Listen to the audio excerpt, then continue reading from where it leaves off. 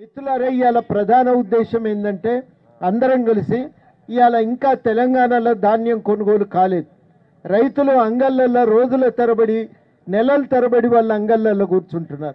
దసరాకు కొ- కొనుగోలు మొదలైతే ఇవాళటి వరకు కోతలు మొదలైతే దాదాపు దీపావళి నాటికి దాదాపు కోతలు పూర్తయిపోయినాయి.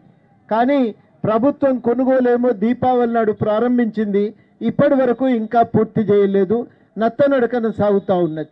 ధాన్యం కొనుగోలు విషయంలో చిత్తశుద్ధి ప్రదర్శించటం లేదు. అంటే ఈ పాలవులకు పాలకులు ఎటువైపు పోతా ఉన్నారు? తిరోగమనం అయిపోతా ఉన్నారు. ప్రభుత్వ సంఘ రంగ సంస్థ అంటే ప్రజల సంస్థ అది. కానీ వాళ్ళ కార్పొరేట్ సంస్థలు అయిపోతా ఉన్నాయి. వ్యవసాయానికి కూడా దీన్ని కూడా కార్పొరేటీకరణ ప్రైవేటీకరణ చేస్తామంటే సిగ్గుందా ఈ పాలకులకు అడుగుతా ఉన్నాను. పరిశ్రమలు ప్రైవేట్ పరం చేస్తున్నారు.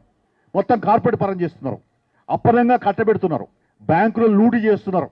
కార్మిక హక్కులు కాలు రాస్తున్నారు రైతులు బజార్ పాలు చేస్తున్నారు. చేతులు ఇప్పటికే చితికొట్టారు. అంటే సకల జనుల బతుకులను బజార్ పాలు చేసిన పరిస్థితి మీ వైఖరిలో ఉంది మీ ఆలోచనలో ఉంది మీ బుర్రలో ఉంది. మీరు ఒక్కలే హాయిగా ఉండాలనే దానిలో ఉన్నారు. ఇది సాగదు సాగదు నరేంద్ర మోడీ. నీ ఆటలు సాగవు.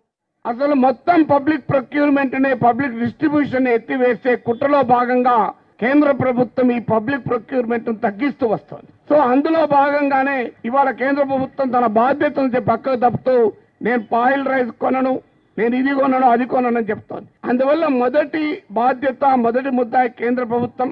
ఎందుకంటే తెలంగాణలో బాయిల్డ్ రైస్ను పండించేలా చేసింది కేంద్ర ప్రభుత్వ సంస్థను ఎఫ్సిఐ తెలంగాణలో మిల్లుల టెక్నాలజీని బాయిల్డ్ రైస్ టెక్నాలజీగా మార్పించింది ఎఫ్సిఐ అందువల్ల మీరు మీ అవసరం కొరకు బాయిల్డ్ రైస్ ఎంకరేజ్ చేసి బాయిల్డ్ రైస్ను పార్ రైస్ టెక్నాలజీలుగా మిల్లులు మార్చి ఇప్పుడు సడన్గా మేము కొనము అంటే అది పండించేటువంటి రైతులు యాసంగిలో వరి పండించే రైతులు ఏం కావాలి?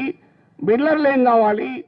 అసలు కార్పొరేటు మోడల్ ఏదైతుందో అది ముందుకు పోతూ పోతూ ప్రభుత్వ రంగ సంస్థలన్నింటినీ అమ్మేసేట్లుగా అక్కడి దాకా వెళ్ళి అది రైతాంగం దాకా వచ్చింది. ఎందుకంటే మీకు కార్పొరేటైజేషన్ అనేది ఏదైతుందో అది ఎక్కడ ఆగదు అది ఈ వ్యవసాయ రంగాన్ని కార్పొరేటైజేషన్ చేయాలి అనేటువంటి డిమాండ్ ఎప్పుడైతే వచ్చిందో దాన్ని కూడా వాళ్ళు ప్రధానమంత్రి పరిపాలిస్తున్నటువంటి వాళ్ళు దానికి రాజ్యాంగ రా కార్పొరేటైజేషన్ కావాల్సినటువంటి చట్టాలని ఏ చర్చ లేకుండా వాటిని పాస్ చేశారు. అడ్డుపడితే ఏమవుతుంది? అడ్డు తొలగిస్తాం అని అనుకున్నారు. కానీ లక్షలాది మంది దేశవ్యాప్తంగా ఒక ప్రతిఘటన గత ఒక్క సంవత్సరంగా రాజీ లేకుండా సాహసంగా ప్రాణాలిచ్చి వాళ్ళు పోరాడడం వలన ప్రభుత్వానికి ఒక అడ్డుకట్ట వేసినట్లే. కార్పొరేట్ వ్యవస్థకి